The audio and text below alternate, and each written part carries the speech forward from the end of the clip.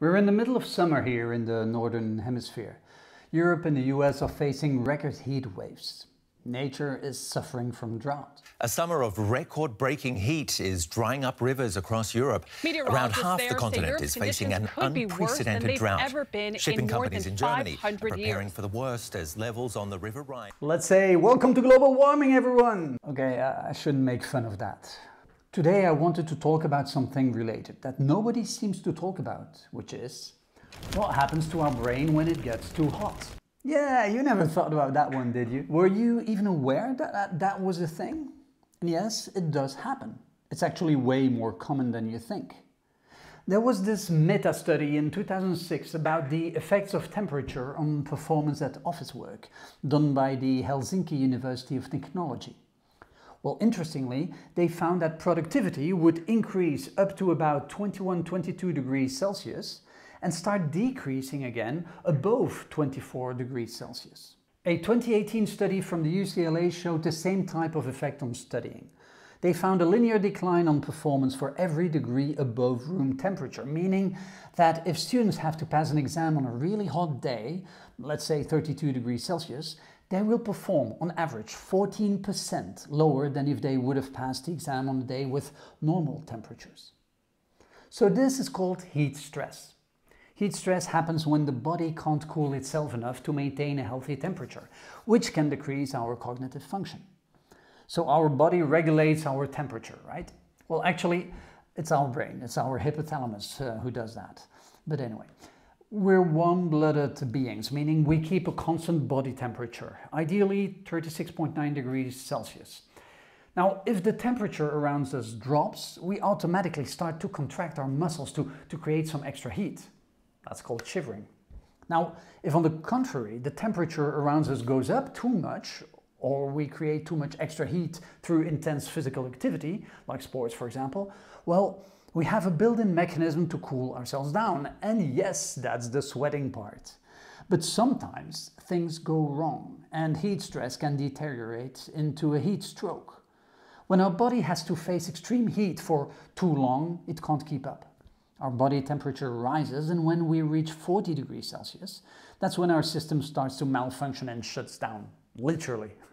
and no, that's not good. We're talking organ damage, neural dysfunction, and in extreme cases it can even lead to your death.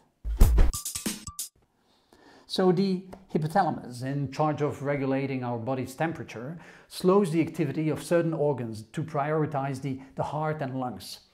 So the gut, kidneys and some other organs which are not directly connected to breathing or cognitive functions, well, they become less active as body temperature rises and so blood flow can focus on our heart and brain. But that's like a short-term solution, because if this lasts too long, these organs can be permanently damaged. So what happens in our brain? Well, at 40 degrees Celsius, the blood-brain barrier begins to break down. This barrier keeps out unwanted particles and bacteria while allowing the oxygen and nutrients to go through, which the brain needs.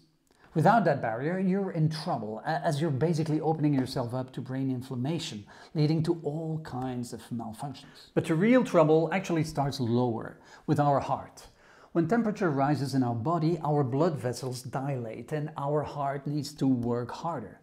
If the heart is pushed too hard, I say a lot of heart, our body can take drastic measures to protect itself, as we saw cutting off blood flow to our gut and kidneys. But if that's not enough, it can also shut down our brain.